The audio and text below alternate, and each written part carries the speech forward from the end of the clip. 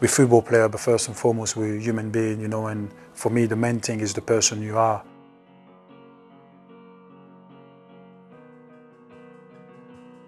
That's all I love to do, you know, playing football, being on the pitch, training, being around the dressing room, the banter and everything. So, you know, it's just, uh, I'm just happy to be there and uh, I want to I wanna be there as long as I can.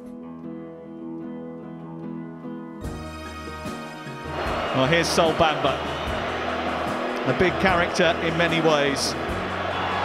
Bamba hits it within the width of the post with elegance and poise. I'm just me, and if that helps people, um, is a plus. But I just I just try to be the best I can, um, be, be be a good person around the place, be a good teammate, and try to give everything I can when I play as well.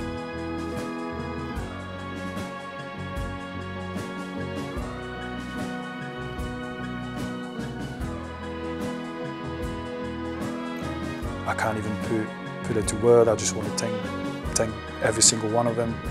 Um, I feel like I repeat myself, but I, I, I, really, really want them to understand how important they've been for me. Uh, I don't take it for granted at all. And I wish them all the best. I'm very emotional now, but I wish them all the best. Thank you so much. Thank you.